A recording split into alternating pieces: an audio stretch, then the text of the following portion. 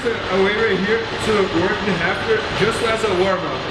So what I'm gonna do, I'm just gonna open my lapels open right here. I'm gonna get the under hook. I'm gonna hip escape, and I'm gonna get his lapel. Right? So I'm gonna do that just as a warm up and as a drill. So I'm gonna control his lapel, stretch my leg, get his lapel. So now I'm gonna do full speed, so it's gonna be like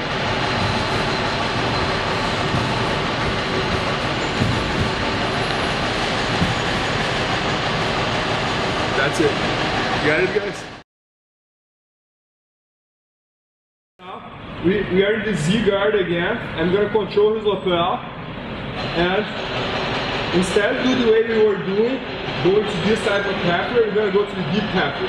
So I'm gonna control his lapel, I'm gonna control under his leg, and I'm gonna bring him to me. And I'm gonna stop right here in the deep half guard. His knee around my head, his leg stretching.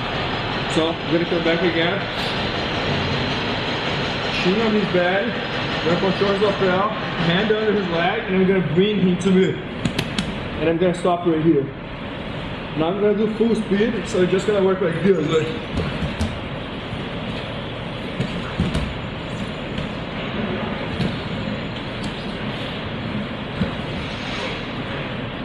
Did you guys get it, guys?